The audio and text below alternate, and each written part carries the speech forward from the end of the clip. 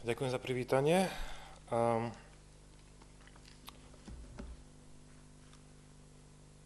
uh, v dnešnej kázni som dal tému súd alebo milosredenstvo. A text, ktorý nás bude viesť k tejto téme, je z Evangelium podľa Lukáša, 7. kapitola od 30. verša. Evangelium podľa Lukáša, 7. kapitola od 30. verša. Prosím, sme povstali. Istý farizej ho prosil, aby jedol s ním. Preto vošiel do domu farizejovho a stoloval s ním.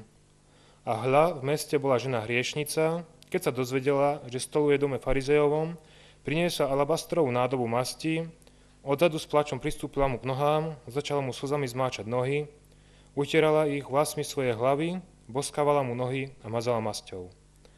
Keď to videl farizej, ktorý bol pozval, povedal si, keby tento bol prorok, vedel by kto a aká to žena, čo sa ho dotýka, pretože je hriešnica.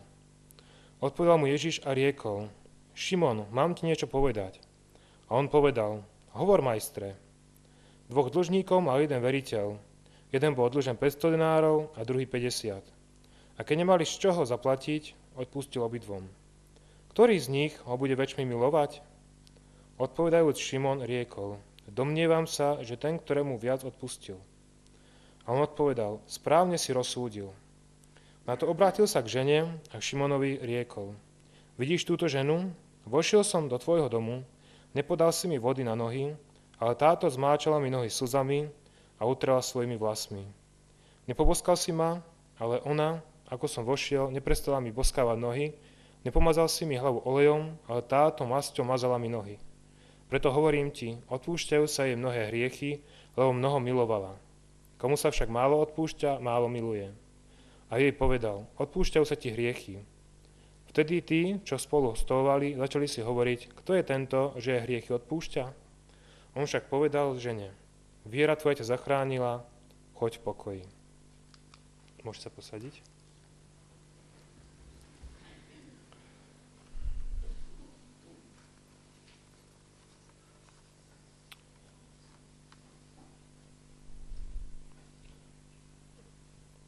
Nechcem rozoberať celý ten text, ktorý sme teraz čítali, nie preto, že by bol dlhý, alebo že by tam bolo niečo nezaujímavé.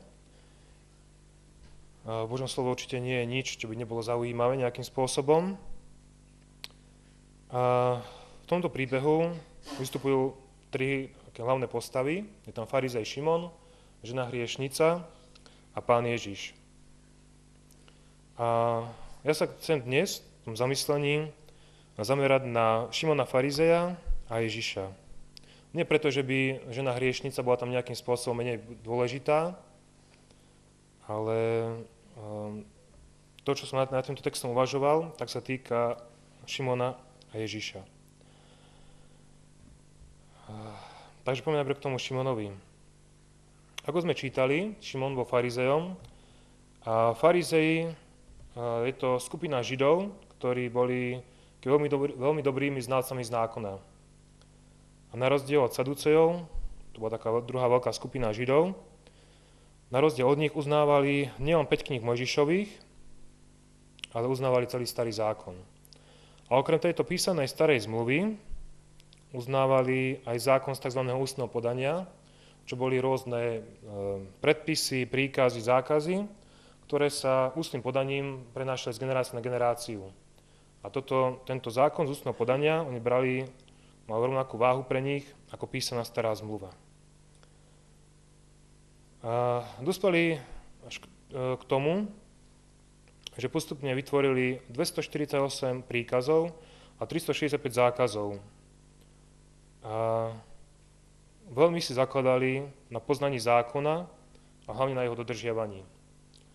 A to by som chcel veľmi zdôrazniť, pretože e, z tohto budeme vychádzať a budeme z toho vyvodzovať e, zámery, za akými Šimon pozval Ježiša do svojho domu. Čiže ešte raz opakujem, veľmi dobre poznali zákon a za, za, veľmi si zakladali na jeho dodržiavaní. Ten, kto lepšie ho poznal a lepšie dodržiaval, ten bol lepší farizej. A novej zmluve nečítame veľa takých príbehov, ako je tento, že by nejaký farizej pozval Ježiša do svojho domu. A ich len veľmi málo. A možno by sme mohli povedať, že tento farizej, Šimon, bol jeden z mála, ktorý asi nejakým spôsobom mal v úcte toho Ježiša a chcel sa o ňom dozvedieť niečo viacej, chcel pozvať do svojho domu, chcel s ním stretnúť. A mohli sme povedať, že asi s ním až tak nepo, neopovrhoval, ako ostatní farizeji, a preto pozýva k sebe. A mohli sme tohto farizeja pochváliť, potlapkať ho po pleci a povedať mu, výborne Šimon, si dobrý, si ho pozval Ježiša, si nebal tých ostatných farizejov, spravil si niečo iné, ako robili ostatní, ty sa pozývaš do svojho domu. Neskôr však, však uvidíme, že Šimon nevolá Ježiša do svojho domu preto, aby si ho vážil, lebo že si ho váži, že si ho chce uctiť, chce sa o ňom dozvedieť niečo viac, ale jeho skutočný záujem o Ježiša je úplne iný tom 36. verši sme čítali, istý farizej ho prosil, aby jedol s ním. Preto Ježiš vošiel do domu farizejovho a stoloval s ním. Pri tomto stolovaní sa trošku pozastavím. A zase preto, aby nám to lepšie ukázalo, s akým zámerom Šimon, to farizej, pozýva Ježiša do svojho domu.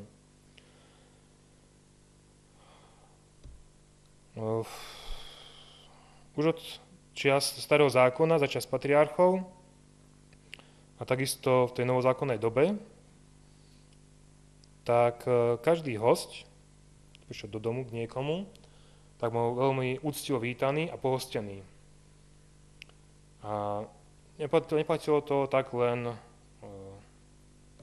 v izraelskom národe, aj v okolitých národoch, v tom arabskom svete, medzi mnohými národmi to platí dodnes, napríklad Beduíni s takým národom, ktorí hoci e, neveria Ježiša Krista, tak sú veľmi pohostinní.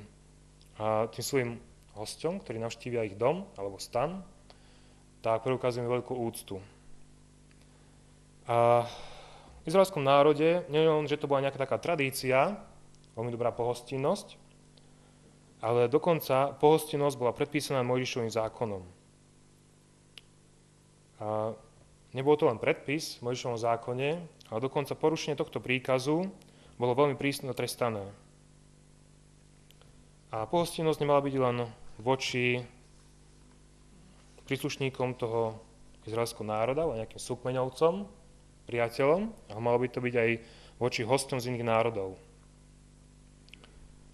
A hostiteľ, keď má možnosť E, tam nejakého hostia uvíta v svojom dome alebo v stane, keď to bolo niekde na púšti, tam mal vždy predostrieť najlepšie jedlo a takým znakom najvyššej úcty bolo to, keď hostiteľ, hoci mal doma nejakých sluhov, tak tomu hostovi posluhoval sám. Bol zároveň hostiteľom, hovoril s tým hostom a zároveň mu posluhoval. A taká dobrá pohostinnosť sa okrem iného, okrem toho dobrého jedla, prejavovala tromi spôsobmi. Prvým spôsobom bolo umývanie nôh. Izraelci, Sýrania a Egyptiania mali zvyk, že každý, každému hostovi, ktorý vstúpil do stanu alebo do domu, bolo ponúknuté, že si môžu umyť nohy. A väčšinou si ten host umil nohy sám, ak to bol nejaký taký majetnejší hostiteľ, mal nejaký sluhov, tak to vykonával ten sluha. A zase obzvlášť veľkým prejavom úcty, keď ten hostiteľ toho hostia chcel veľmi úctiť, tak bolo to, že sa zohol, opázal si zásteru a tomu hostovi umil nohy sám. Ďalší taký spôsob na prevenie tej pohostinnosti bol bosk, alebo poboskanie. A bosk, ako súčasť privítania hostia, bolo znakom mieru, priateľstva a zase bolo to znakom úcty a vzájomného žehnania vzájomného prijatia. A takým tretím spôsobom, takým, uh, mohli by sme povedať špeciálnejším, bolo pomazanie hlavy olejom. Nie každý bol na to taký majetný, že mu má ten olej na pomazanie doma. A takým veľmi špeciálnym spôsobom na ústne z toho hostia bolo pomazanie hlavy olejom. Dal tomu tomu stretnutiu, tomu privítaniu toho človeka v dome hostiteľa taký najväč, najväčšia forma pohostinnosti.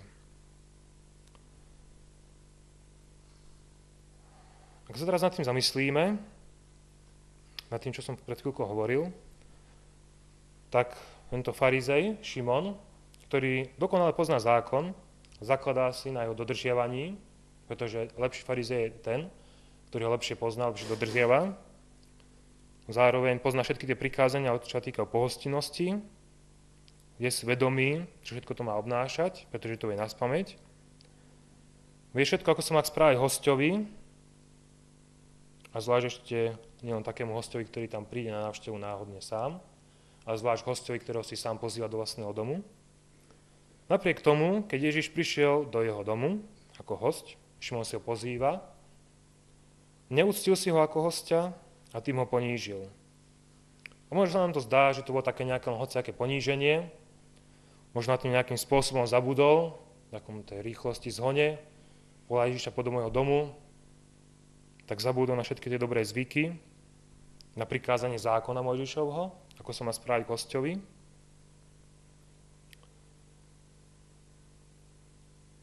Ja si myslím, že na to nezabudol. Robil to vedomé. Prečo teda Šimon pozýva Ježiša do svojho domu, ak si ho hneď pri vchode neúcti ako hostia? Nemáme to uvedené presne, ale z kontextu a podľa zmýšľania jeho srdca môžeme vidieť, že pozval Ježiša do svojho domu preto, aby ho skúšal, aby ho mohol posudzovať. Sliediť, čo spraví, či nespraví podľa zákona a potom ho odsúdiť. Aký postoj sa skrýva v srdci Ježiša, v srdci Šimona za jeho posudzovaním? Posudzoval Ježiša, posudzoval ženu hriešnicu. Aký postoj srdca sa skrýva v našom srdci, keď súdime druhých? Je to pícha. Či na úvod som spomenul to prijatie hostia do domu, ako má vyzerať. A keď už ten host prišiel dnuka, tak nasledovalo potom spoločné stolovanie. A to spoločné stolovanie a ten spôsob, ako to funguje dodnes v arabských krajinách, ako to bude v tomto príbehu, tak bolo o tom, že ľudia sa stretli pri stole preto, aby sa zblížili, aby sa lepšie mohli poznať, aby si naozaj mohli slúžiť. To začalo hneď tým prijatím do domu. Nazviazali taký osobnejší vzťah. A takéto spoločenstvo ľudí je pre mňa obrazom aj spoločenstva nás kresťanov. A keď sa zídeme, našim zámerom nemá byť posudzovanie, kto čo spravil či nespravil, súdenie, kto aký je, či nie je. Keď sa zídeme ako kresťania, našim zámerom má byť slúžiť jeden druhému. Musím sa pýtať, alebo mal by som sa pýtať, čo dnes môžem spraviť pre svojho blížneho? Mám sa pýtať, ku komu mám posílať dnes, pane? A to môžeme len vtedy, keď v našom srdci nebude pícha. Ak v našom srdci bude zakotvená pícha, v mojom srdci bude stále postoj, ja som lepší ako tí ostatní. Ja robím lepšie ako tí ostatní. Ja lepšie slúžim zbor ako ostatní. Ja mám lepšie dary ako tí ostatní.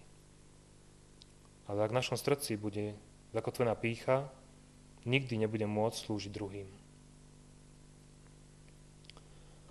Farizej Šimon, čo bolo jeho úlohou tam pozýva Ježiša do svojho domu ako hostia. Jeho úlohou bolo uctiť si pána Ježiša Krista ako hostia. Mal mu poslúžiť, prejaviť náklonnosť, úctu. Ale pre píchu jeho srdca to nebolo vôbec možné. Pícha mu nedvolila uctiť si Ježiša ako hostia. Pícha ho viedla k tomu, aby odsúdil Ježiša za jeho nevhodné správanie k žene hriešnici. A pícha ho viedla k tomu, že by z milosti odsúdil ženu hriešnicu, pretože si povedal vo svojom srdci, ja som lepší ako ona. A to bol farizej Šimon. Druhého vždycky vieme tak ľahko posúdiť, A čo my? Koľkokrát nás pícha, drží v prehlbovaní konfliktov s ľuďmi? Koľkokrát je pícha tým, čo nás drží v rôznych krízach v manželstve? Koľkokrát je pícha tým, čo nás drží v zatvrdilosti a neodpustení?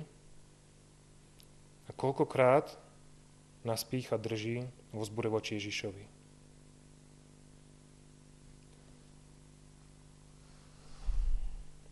Druhouto postavou v tomto príbehu, ktorý sme čítali, je Pán Ježiš Kristus. A ak by sme ho o Šimonovi tak veľmi stručne mohli povedať, alebo skonštatovať, zhodnotiť ten postoj jeho srdca, tak by sme mohli povedať, že bol plný pýchy a plný odsúdenia. A keby sme teda takto veľmi jednoducho ohodnotiť Ježiša a jeho postoj srdca, tak sme mohli povedať, že postoj Ježišovho srdca bol plný pokory a milosrdenstva. Prvýkrát mohol odsúdiť Šimona že jeho, za jeho neúctivý postoj k nemu, keď ho povolal do svojho domu.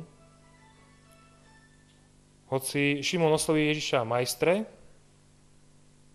je zjavné, nielen podľa spôsobu jeho prijatia Ježiša v dome, že si Ježiša neváži. Za také poníženie sa mohol Ježiš otočiť a ísť preč. Ako sme reagovali my? Keď nás niekto pozval do domu, sme boli na tom mieste toho Ježiša, a teraz je normálne očakávať, že nejakým spôsobom budeme prijatí, a to náš hostiteľ to nespraví.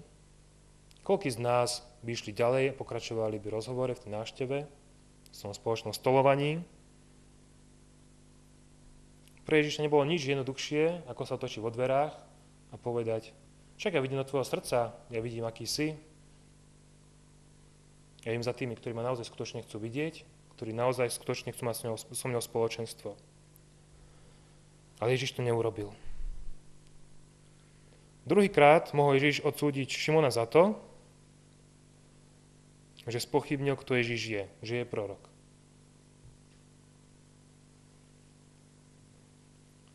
Tretíkrát mohol Ježiš odsúdiť Šimona za to, že Šimon odsúdil ženu hriešnicu za jej skutky, lebo si myslel, že on je lepší. Ale Ježiš to nerobí. Práve naopak, snaží sa, snaží sa Šimona nasmerovať na správnu cestu.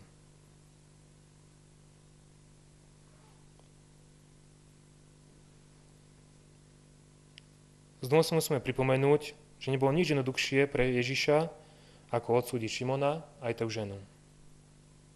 A on jediný by mal na to právo, bol by to spravodlivý súd. Nebolo nič jednoduchšie pre Ježiša, keby ostal hore v nebi pri svojom otcovi, tam mu bolo dobre. Oslavuje tam anieli, ospievali mám tam úctu.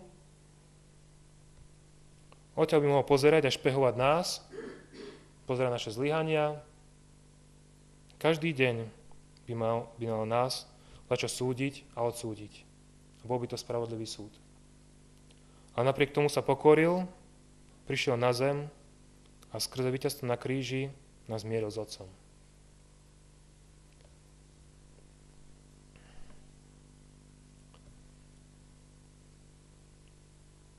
To, že nám bolo odpustené, nás zavezuje k láske. A tá láska nás zavezuje k činom. To, že mne bolo odpustené, bolo mi darované milosrdenstvo, ma zavezuje k tomu, aby som bol aj ja milosrdný. Aby som príjmal toho druhého, tak ako aj mňa Kristus prijal. A to neznamená nejakým spôsobom prehliadať hriech. Ani Ježiš neprehliadal hriech tej ženy hriešnice, ani neprehliadal píchu srdci Šimona. To znamená nenavidieť hriech, ale v prvom rade milovať hriešníka.